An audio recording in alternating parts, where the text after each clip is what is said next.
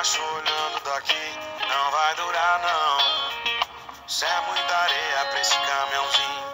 Ele não faz questão de pegar na sua mão.